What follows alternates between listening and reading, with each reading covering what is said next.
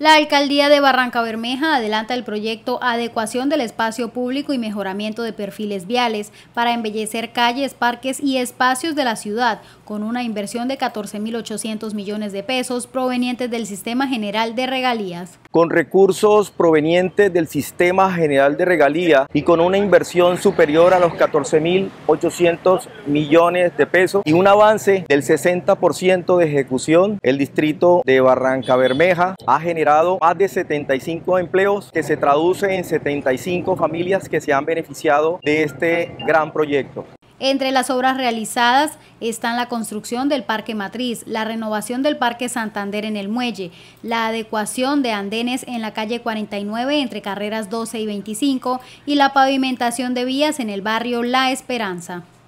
Asegura la Administración que estas intervenciones buscan impactar positivamente a los diferentes sectores del distrito, permitiendo embellecer y dar una nueva cara a los espacios públicos más transitados y usados cotidianamente por la comunidad barranqueña.